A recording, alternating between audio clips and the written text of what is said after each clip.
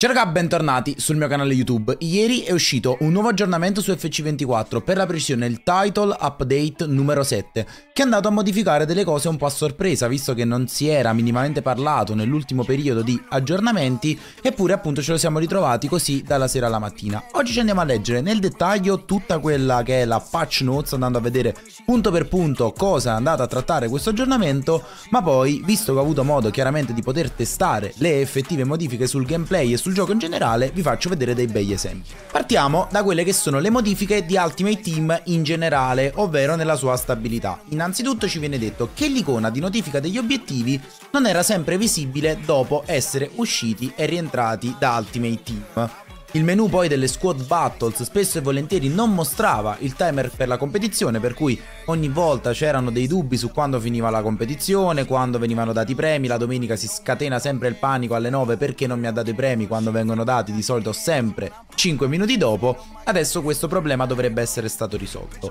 Rimosse le sostituzioni non necessarie dai requisiti delle sfide creazione rosa, a volte nei requisiti delle stesse erano presenti nomi di club duplicati, certi obiettivi non mostravano la loro data di scadenza, a volte dopo aver riscattato un premio obiettivo l'icona di notifica continuava ad essere mostrata.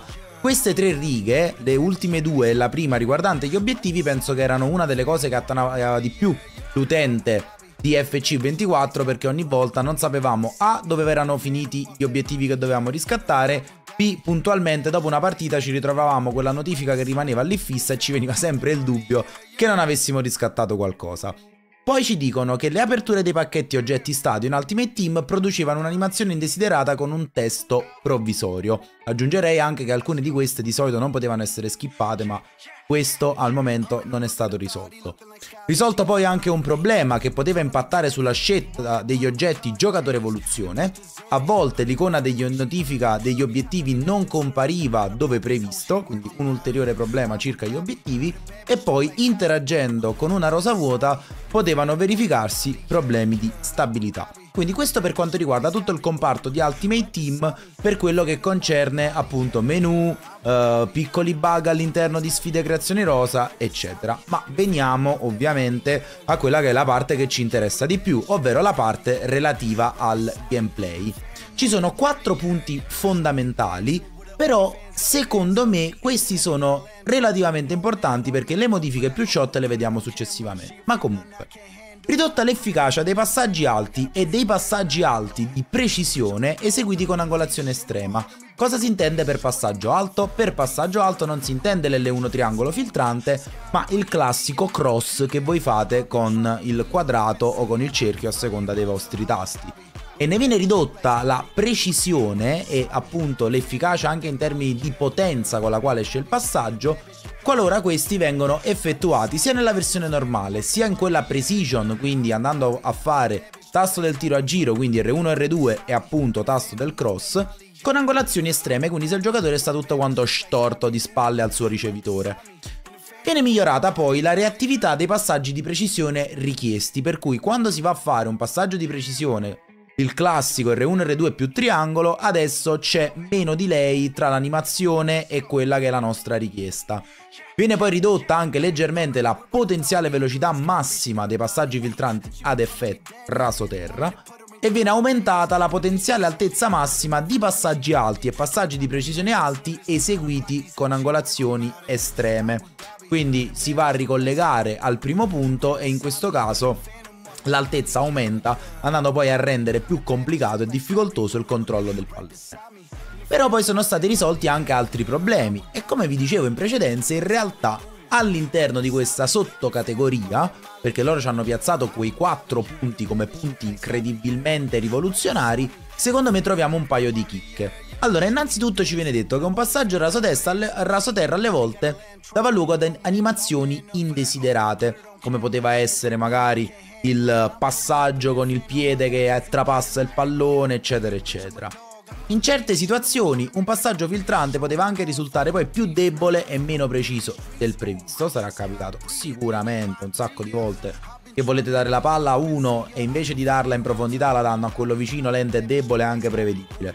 A volte poteva poi capitare che venisse contrastato erroneamente un giocatore avversario senza palla, quindi io col difensore magari l'avversario passa il pallone, di mezzo c'è un uomo, faccio il contrasto, invece di intercettare il pallone mi si tira una cartella sul poverino che sta passando provocando fallo.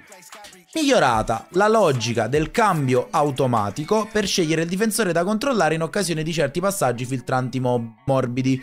Quindi per tutti coloro che utilizzano lo switch su automatico, quindi il cambio giocatore che fa la CPU, adesso questo viene leggermente migliorato, anche se comunque è una cosa che io sconsiglio sempre di utilizzare.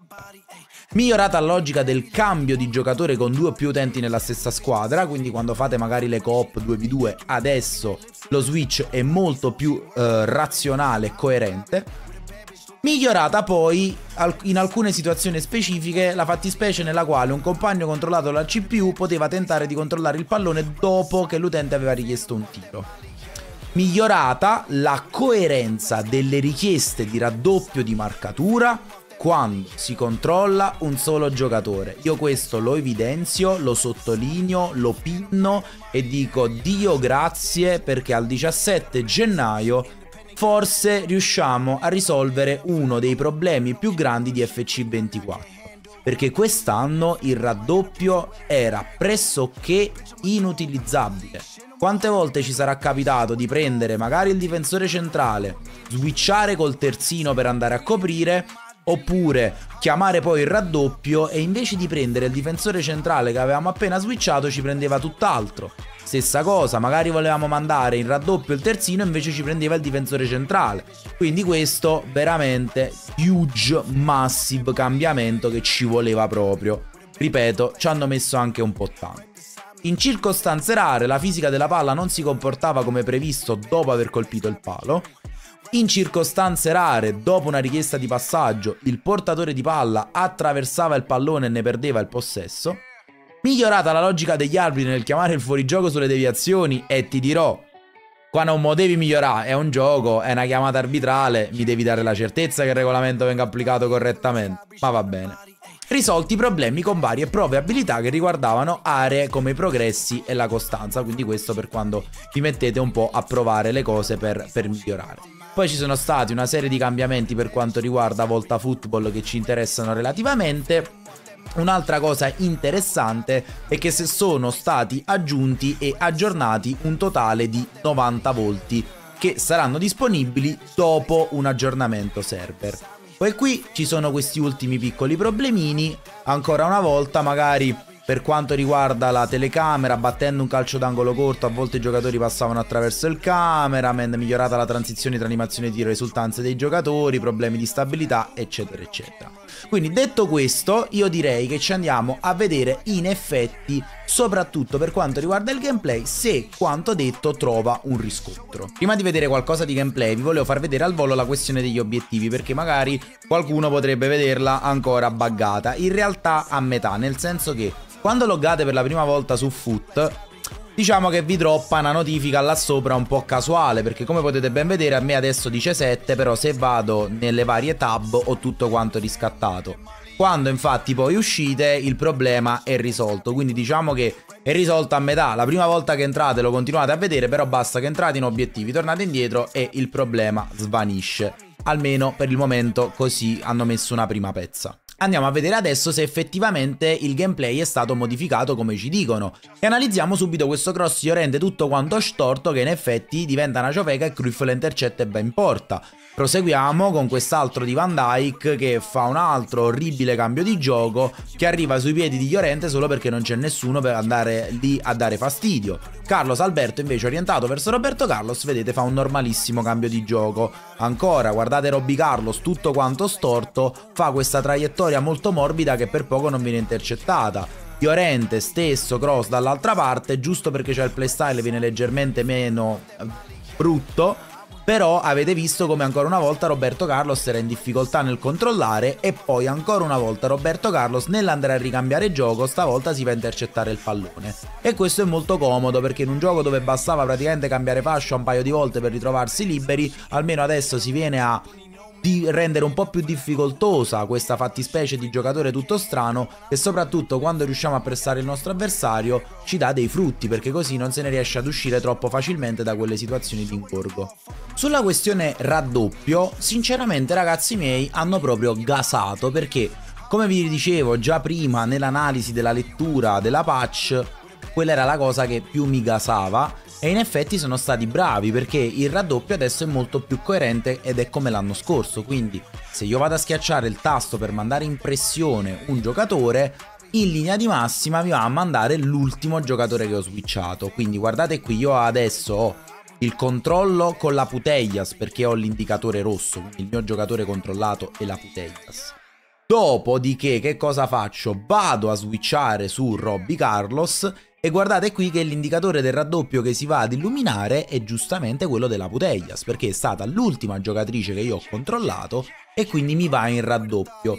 L'azione poi prosegue, guardate qui io mi switcho Van Dyke per coprirmi quest'uomo qui e mando in raddoppio Bobby Carlos che quindi va a coprire il portatore di palla, cosa che prima non accadeva perché in questa situazione andando a prendere Van Dyke poteva capitare che mi mandava in raddoppio persino l'altro difensore creandomi un buco al centro o alla buona buona ti mandava in raddoppio la Putellas ma ve lo scordavate che vi mandava in raddoppio Roberto Carlos, infatti qua guardate l'azione continua, io grazie al, al raddoppio di Bobby Carlos che mi ha seguito il suo giocatore recupero il pallone e me ne posso ripartire, quindi questo qua top class hanno veramente migliorato una cosa che era fondamentale. Ragazzoni anche per questo video è tutto, come al solito vi ricordo di commentare facendomi sapere cosa ne pensate di questa patch e se effettivamente avete riscontrato delle differenze all'interno del gioco. Vi ricordo che sono poi in live tutti i giorni sulla piattaforma Viola dalla mattina più o meno fino al primo pomeriggio e con detto questo io vi auguro una buona giornata, un saluto dai vostri Beroschi e a presto.